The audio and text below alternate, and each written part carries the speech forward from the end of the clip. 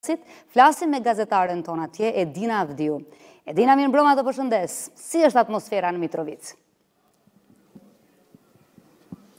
Mirëmbrëma, Alketa, për juve dhe për gjithë shikuesit e Radio Televizionit të Kosovës.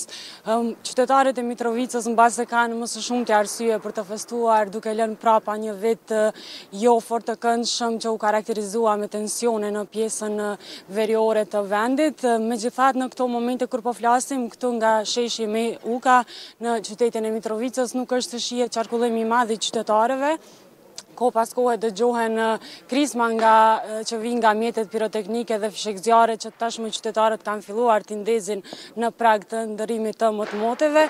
Sidoqoftë situata këtu në qytetin në pjesën jugore pra të qytetit të Mitrovicës është e qetë. Ne paraprakisht kemi qenë edhe në pjesën veriore të vendit dhe situatë e njëjtë është edhe në atë anë. Policia është me plan operativ edhe sonte në këtë natë festive, duke u kujdesur që i gjithë festa pra të kalojë pa incidente, të kalojë pra pa incidente dhe e qetë. Ajo që është vërejtur në orët e paraditës ka qenë një fluks i madh i veturave dhe qytetarëve që sigurisht vijnë pas ardhjes së bashkatdhetarëve të cilët edhe këtë fundvit kanë ardhur në qytetin e Mitrovicës për të festuar pra natën e ndërrimit të motmoteve pranë familjarëve të tyre dhe pranë më të dashurve të tyre. Siç edhe po mund të dëgjoni, pra siç e thashë janë këto krisma festive, jo si ato që jemi mësuar të dëgjojmë në maj e në shtator të këtij viti kur veriu i vendit pra ishte në situatë mjaft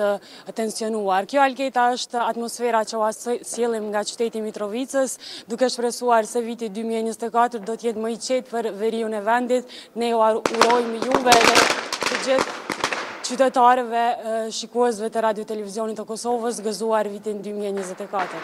Gëzuar edhe nga ne Edina, faleminderit për këtë paraqitje.